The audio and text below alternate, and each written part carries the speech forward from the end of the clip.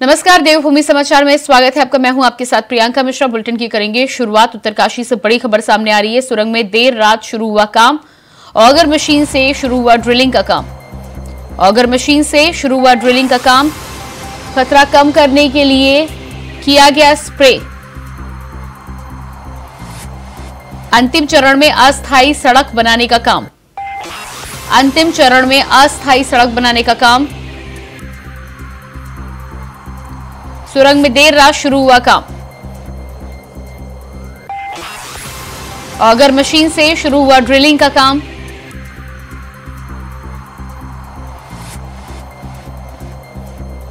अंतिम चरण में अस्थायी सड़क बनाने का काम।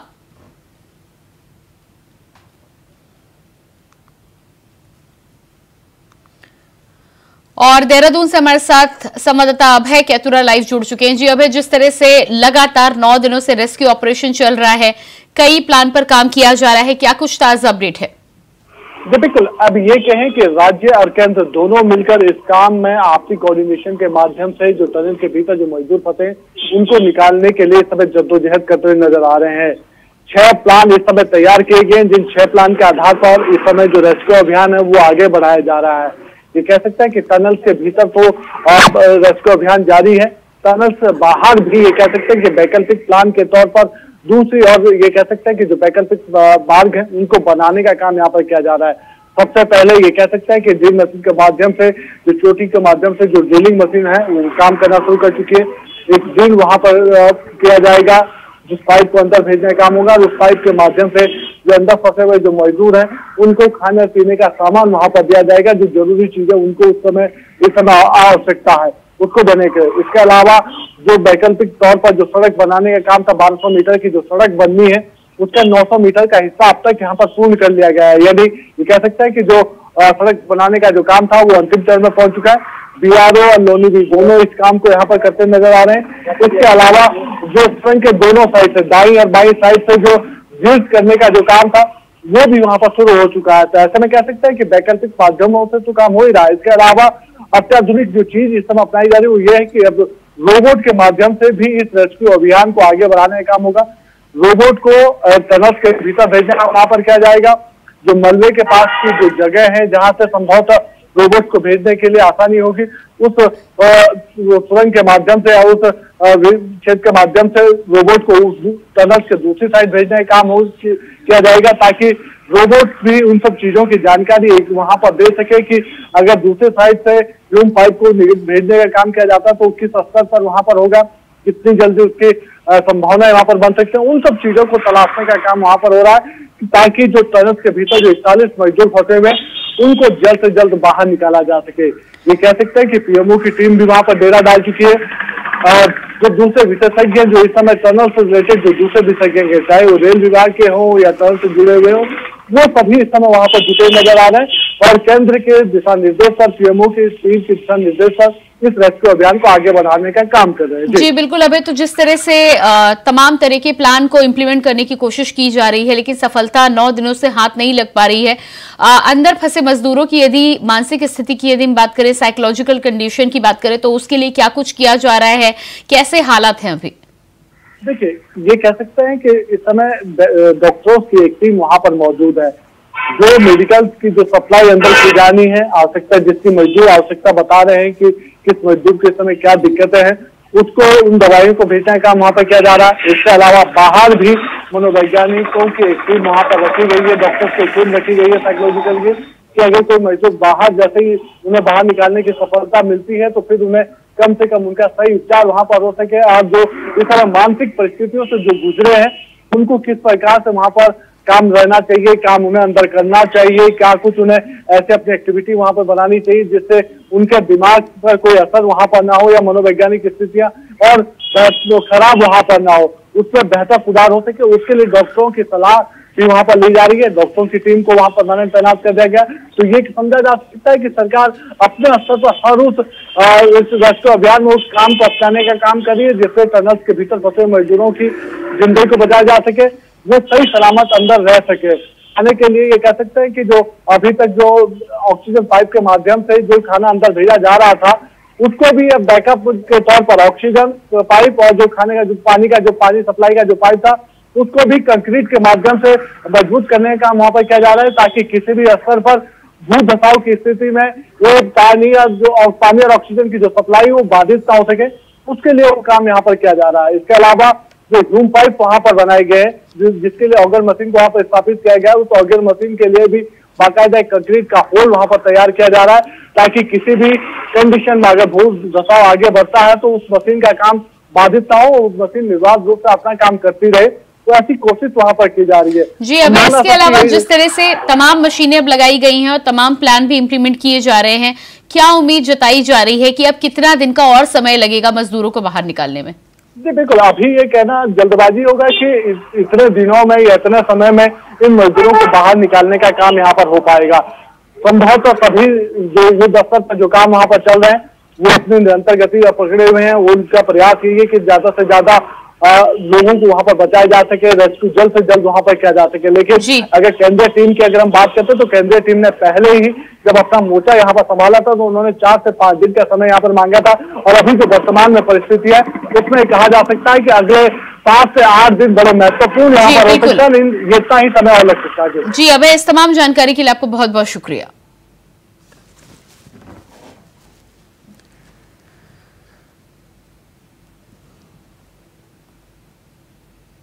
और इसके बाद उत्तरकाशी से ही बड़ी खबर है इकतालीस जिंदगियों को बचाने के लिए रेस्क्यू ऑपरेशन लगातार जारी है। टनल के अंदर पहुँचने के लिए छह पॉइंट्स पर हो रहा है काम। टनल के ऊपर से वर्टिकल ड्रिलिंग की, की गई शुरुआत। बीआरओ ने डेढ़ किलोमीटर तक कर ली है ड्रिलिंग मजदूरों तक पहुँचने की कोशिशें लगातार जारी। एक्सपर्ट्स के मुताबिक 30 घंटे से ज़्यादा का समय लग सकता है। तो इकतालीस जिंदगियों को बचाने के लिए रेस्क्यू ऑपरेशन लगातार जारी है। अलग अलग कई प्लान पर काम किया जा रहा है। टनल के अंदर पहुँचने के लिए छह पॉइंट्स पर काम हो रहा है, जिससे किसी भी तरीके से जल्द से जल्द मजदूरों तक पहुँचा जाए। टनल के ऊपरी हिस्से पर भी वर्टिकल ड्रिलिंग की जा रही है, जहाँ बीआरओ की तरफ़ से डेढ़ किलोमीटर तक के ड्रिलिंग के काम को पूरा कर लिया गया है।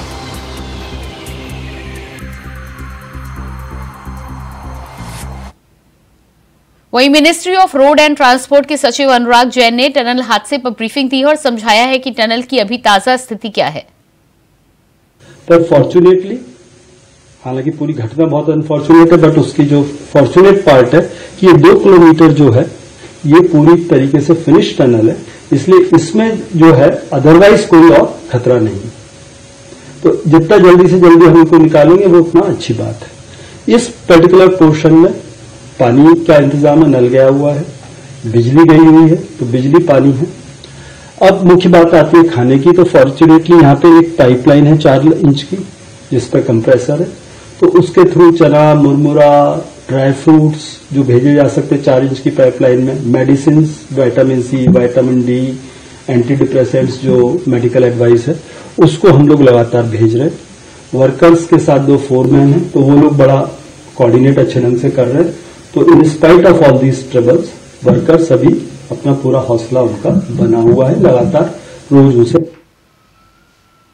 उत्तरकाशी टनल में फंसे मजदूरों के लिए हवन प्रदेश कांग्रेस करेगी। प्रदेश अध्यक्ष करण महारा भी इस हवन में होंगे शामिल। मजदूरों के लिए की जाएगी विशेष पूजा। तो उत्तरकाशी से खबर, प्रदेश कांग्रेस मजदूरों की कुशलता के लिए करेगी हवन।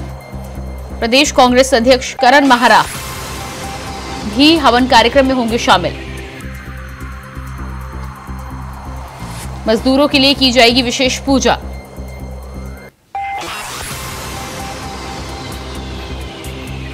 देहरादून के पंचायती मंदिर में होगा कार्यक्रम। उत्तरकाशी टनल में फंसे मजदूरों के लिए कांग्रेस करेगी हवन।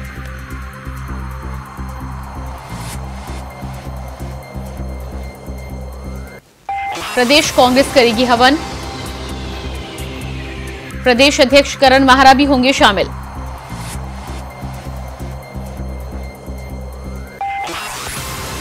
मजदूरों के लिए की जाएगी विशेष पूजा।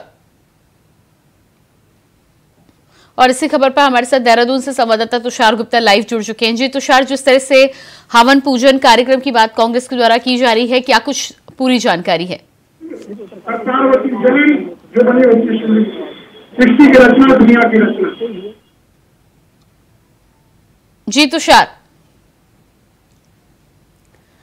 शायद संपर्क हमारा नहीं हो पा रहा है। एक बार फिर से संपर्क साधने की हम कोशिश करेंगे। इसी दौरान आपको बता दें कि उत्तरकाशी टनल में फंसे 41 मजदूरों की सकुशलता के लिए कांग्रेस ने हवन करने की योजना बनाई है। कांग्रेस के तमाम बड़े नेताओं के साथ ही साथ पार्टी के तमाम पदाधिकारी, पंचायत मंदिर में आज मजदूरों के लिए हवन करते हुए नज़र आएँगे, जिसमें प्रदेश कांग्रेस अध्यक्ष करण महारा भी शिरकत करेंगे।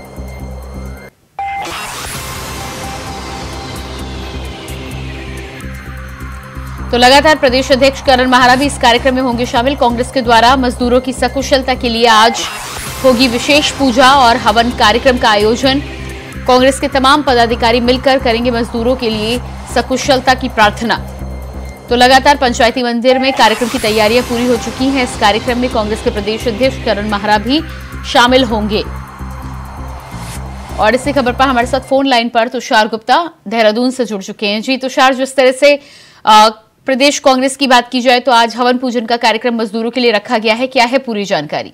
देखिए उत्तरकाशी के टनल में जिस तरह से हादसा हुआ है, नौ दिन उसे पूरे हो चुके हैं और प्रदेश कांग्रेस कमेटी ने आज हवन का आह्वान किया था और आज उन्होंने एक हवन किया है। आप देख सकते हैं, मेरे ठीक पीछे मैं पंचायती मंदिर में मौजूद हूँ और यहाँ पर खुद प्रदेश अध्यक्ष करण मेहरा यहाँ पर मौजूद है और वो हवन पूजा अर्चना कर रहे हैं और मांग उनकी इच्छा है भगवान से यही मांग है कि जल्द से जल्द जो लोग मजदूर वहाँ पर फंसे हुए हैं जो वन मजदूर है उन्हें जल्द से जल्द भगवान बाहर निकाले।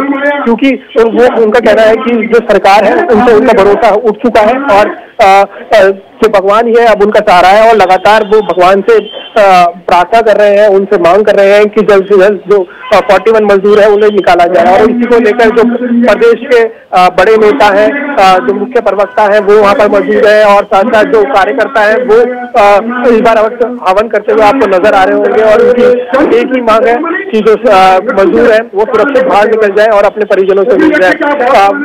साथ ही जो प्रदेश अध्यक्ष मेहरा ने कई आरोप राज्य सरकार केंद्र सरकार पर लगाया है उनका कहना है कि जो काम है वो तेज़ी से नहीं हो रहा है मशीनों को पहले ही यहाँ पर बुला लिया जाना चाहिए था। जो कंपनी है इसका काम कर रही है वो अ, अच्छे से काम नहीं कर रही है उस, उसकी कार्यशैली पर सवाल उठाया है साथ साथ जो कार्य वहाँ पर चल रहा है उसकी कार्यशैली पर सवाल उठा- आ बिल्कुल तुषार इस तमाम जानकारी के लिए आपको बहुत बहुत शुक्रिया। तो ये थे हमारे संवाददाता देहरादून से तुषार ताज़ा जानकारी हमें प्रदान करा रहे थे।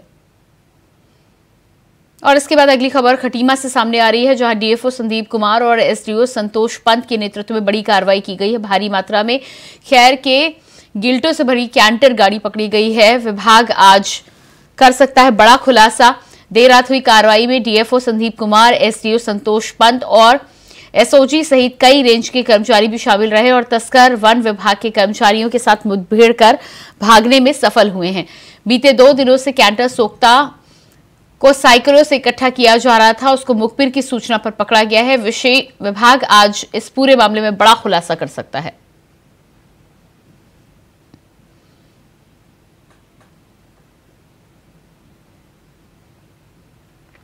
और अगली खबर देहरादून से है, जहाँ पूर्व मुख्यमंत्री त्रिवेंद्र सिंह राहत, रावत, देवप्रयाग से पदयात्रा शुरू करेंगे। गढ़वाल संसदीय क्षेत्र के सीता माता सर्किट तक की पदयात्रा की जाएगी। आपको बता दें कि तीन दिनों तक चलने वाली ये पदयात्रा देवप्रयाग से शुरू होकर पौड़ी के फलसवाड़ी तक पहुंचेगी। पूर्व मुख्यमंत्री त्रिवेंद्र सिंह रावत ने यात्रा के भ्रमण कार्यक्रम की जानकारी देते हुए बताया कि वह बुधवार को 22 नवंबर को देवप्रयाग संगम पहुंचकर पूजा की शुरुआत करेंगे। उसके बाद रघुनाथ मंदिर देवप्रयाग में पूजा करने के बाद पदयात्रा शुरू करेंगे। वहीं 24 नवंबर को लक्ष्मण मंदिर देवल में पूजा करने के बाद कोड़ साड़ा होते हुए सीता माता परिपथ सर्किट यात्रा के स्वागत समारोह में शामिल होंगे। फलसवाड़ी स्थित सीता माता समाधि स्थल में आयोजित कार्यक्रम में शामिल होने के बाद उनकी यात्रा का समापन हो जाएगा। पद यात्रा का शुभारंभ होगा और ये यात्रा रघुनाथ मंदिर से प्रारंभ होकर बाहा बाज़ार, विदाकोटी, सीताकोटी और रात्रि विश्राम मुछाली गाँव में होगा। अगले दिन ये यात्रा वाहनों से होगी। और मुछाली में, सीता माता मंदिर में प्रातः पूजा अर्चना के बाद जामला खाल घुड़दौड़ी डांडा पानी होते हुए रात्रि विश्राम श्री लक्ष्मण मंदिर देवल में होगा। चौबीस की प्रातः यात्रा लक्ष्मण मंदिर में पूजा अर्चना के बाद श्री वाल्मीकि आश्रम मंदिर और उसके पश्चात मनसवार मेला फलसवाड़ी में, जहाँ सीता माता का एक छोटा सा मंदिर भी है, वहाँ पर सीता माता का जो समाधि स्थल है, वहाँ पर इसका समापन होगा। उत्तराखंड में 2 दिसंबर से नगर निगमों की ज़िम्मेदारी जिलाधिकारी और अन्य निकायों का कामकाज एसडीएम रैंक के अधिकारी संभालेंगे। प्रशासक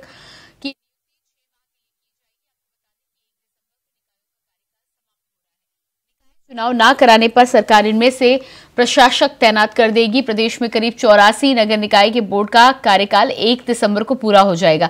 इस बार चुनाव समय पर नहीं होने के कारण शहरी विकास विभाग आगामी एक दिसंबर को निकायों में प्रशासक की नियुक्ति करने की तैयारी कर रहा है। वहीं शहरी विकास मंत्री प्रेमचंद्र अग्रवाल का कहना है कि राज्य में निकाय चुनाव सभी प्रक्रियाओं को पूरा करने के बाद होंगे।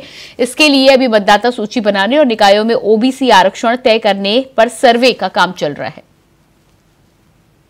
देखिए, चुनाव से पहले हमें कुछ प्रक्रियाएँ पूरी करनी होती है। हमारे यहाँ जो मतदाता सूची है, वो मुकम्मल करनी होती है। साथ में जो आरक्षण, विभिन्न निकायों में जिस प्रकार से होने, वो काम भी अभी चल रहा है। ये काम पूरा होने के बाद चुनाव की संभावनाएँ हमारे यहाँ बनती है। तो उस के लिए एक्सरसाइज चल रही है। मतदाता सूची के लिए कह दिया गया है। आरक्षण का काम पहले से चल रहा था, जिसको अभी हम अंतिम रूप जब जैसे ही होगा तो हम जो है फिर चुनाव की तरफ़ बढ़ेंगे। खबर पिथौरागढ़ से है, जहाँ जाखनी के समीप एक कबाड़ की दुकान में भीषण आग लग गई। आग की चपेट में आने से दुकान में रखा लाखों का सामान खाक हो गया। आग की सूचना मिलते ही दमकल और पुलिस सहित रेस्क्यू टीमें घटनास्थल पर पहुंचकर आग पर काबू पाने में जुट गई हैं। वार्ड सभासद विजेंद्र मेहर ने बताया है कि कबाड़ की दुकान में आग लगी। आग इतनी भयानक थी कि शहर की किसी भी कोने से दिखाई दे रही थी। आग लगने के कारणों का अभी तक पता नहीं चल पाया है।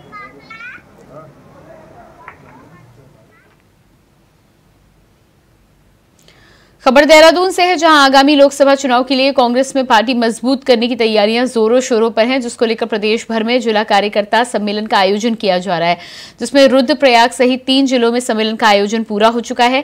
अब आगामी सम्मेलन टिहरी और बागेश्वर में होने जा रहा है, जिसमें प्रदेश अध्यक्ष करण महाराज सहित कांग्रेस के वरिष्ठ नेता भी मौजूद रहेंगे। वहीं कांग्रेस प्रदेश उपाध्यक्ष मथुरा दत्त जोशी ने बताया कि बूथ स्तर के कार्यकर्ता क्या कार्यकर्ताओं को मज़बूत करने के लिए प्रशिक्षण देने के सम्मेलन का आयोजन किया जा रहा है जिसका परिणाम आगामी चुनाव में मिलने वाला है।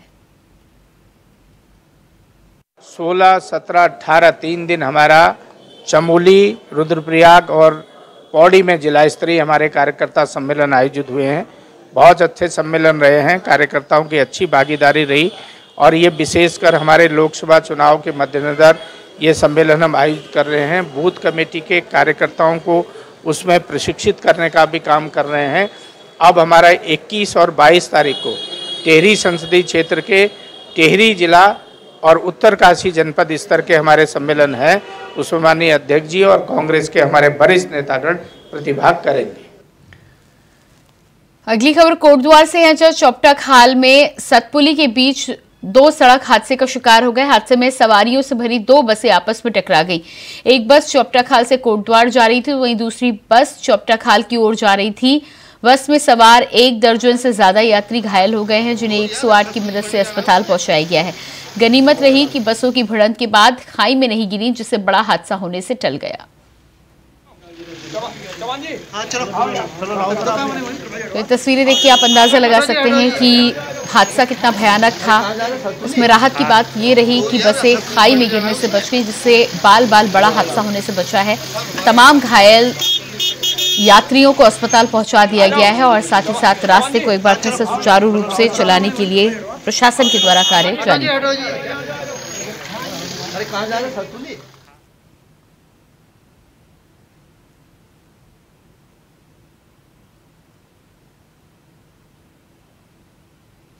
खबर उत्तराखंड से है, जहाँ विपक्ष के आरोपों पर सत्ताधारी दल भाजपा ने भी विपक्ष को उनके राज्य में कानून व्यवस्था याद दिला दी। भाजपा प्रवक्ता विपिन कैंथोला का कहना है कि जिस समय कांग्रेस की सरकार थी, उस समय रुड़की में जेल के बाहर दिन दहाड़े गोली कांड हुआ था, जबकि कई पुलिस वालों पर खनन माफियाओं ने गाड़ियाँ भी चढ़ाई थी। ऐसे में उस पार्टी को बड़ी बड़ी बातें शोभा नहीं देती, जो अपने राज्य में कानून व्यवस्था का बुरा हाल रखती है। उत्तराखंड बीजेपी प्रवक्ता ने कांग्रेस पर तंज कसते हुए ये तमाम बातें कही।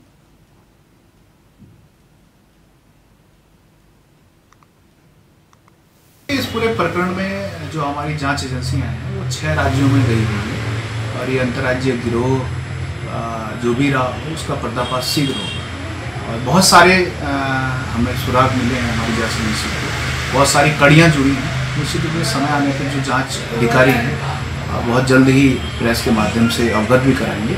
और मैं कह सकता हूँ कि जाँच एजेंसियाँ बहुत बड़े सिस्टम तक पहुँची है और आने वाले समय में सारा खुलासा होगा। कांग्रेस का काम तो राजनीति करना है। कांग्रेस तो आपदा में भी राजनीति का अवसर तलाशती है। कांग्रेस को अपने इतिहास को याद करना चाहिए। और इसके बाद बात करेंगे अगली खबर की। अगली खबर सामने आ रही है। उत्तराखंड से जहाँ कांग्रेस के पूर्व प्रदेश अध्यक्ष गणेश गोदियाल ने नौ दिनों से फंसे मजदूरों को लेकर चिंता व्यक्त की है। उन्होंने केंद्र और राज्य सरकार पर मजदूरों को समय से बाहर ना निकालने का आरोप लगाया है। उन्होंने केंद्र और राज्य सरकार से सवाल खड़े किए हैं कि क्या राहत कार्य में कार्य कर रही एजेंसी, विशेषज्ञ और इंजीनियरों के पास पर्याप्त संसाधन मजदूरों को निकालने के लिए है। उन्होंने जल्द राज्य सरकार को प्रेस कॉन्फ्रेंस कर स्थिति का स्पष्टीकरण करने का निवेदन किया है। वहीं मांग की है कि जल्द से जल्द मजदूरों को बाहर निकालने के लिए काम किया जाए।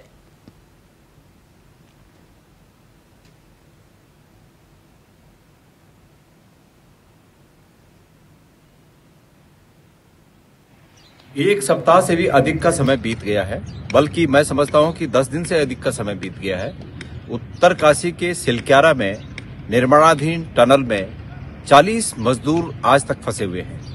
मैंने तात्कालिक रूप में उस दिन ये कहा था कि अभी इस पर कुछ रिएक्ट बहुत इस रूप में नहीं किया जा सकता कि सरकार के प्रयासों में कोई कमी हो, उस दिन मैंने ये कहा था।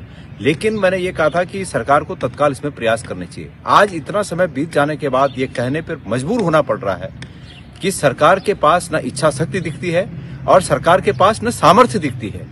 ऐसे लुंज पुंज सरकार, जिसको कि डबल इंजन की सरकार कहा जाता है, आज दस दिन से उन चालीस फंसे हुए लोगों की स्थिति का भी पता नहीं लगा पा रही है, बता नहीं पा रही है कि उनकी स्थिति क्या है।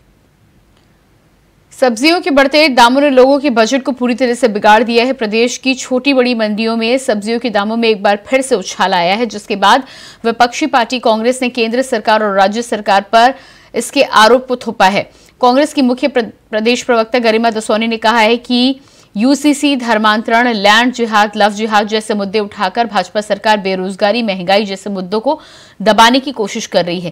लेकिन देश की जनता अब समझदार हो गई है। आगामी लोकसभा चुनाव में इन्हें मुँह तोड़ जवाब देने का काम करेगी।